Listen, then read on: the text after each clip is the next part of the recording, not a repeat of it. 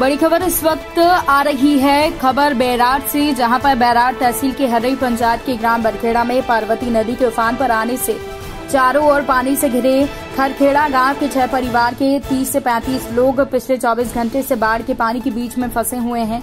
प्रशासन के द्वारा इन्हें एयर लिफ्ट करने की तैयारी की जा रही है। इसके लिए प्रशासनिक अधिकारियों की उच्च स्तरीय बैठक जारी है।